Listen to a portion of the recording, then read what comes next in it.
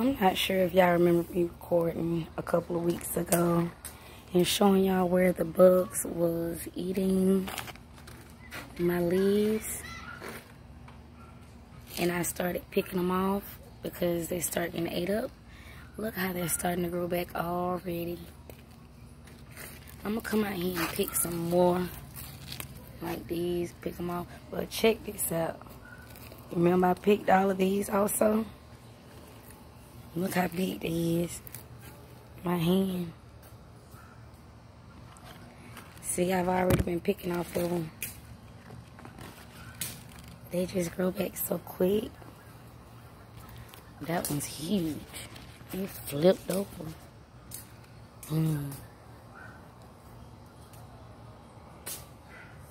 Oh, this is another thing I want to show y'all. Look how tall this plant has got. This is a dill plant. And it's went to seed, you guys. Check it out. It's so pretty.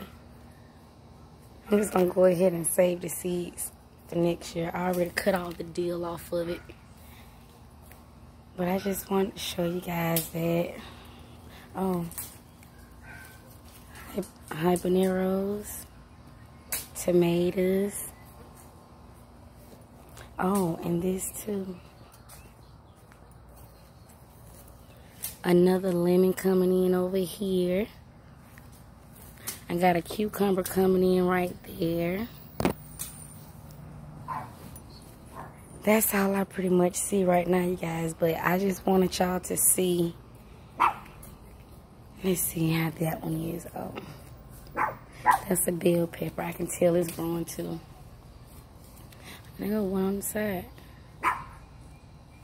Well, I just want you guys to see that how big those collards have gotten. And that was like a week or two. I said give it a week or two and it'll be back. And there it is. Well, see you guys later. Bye.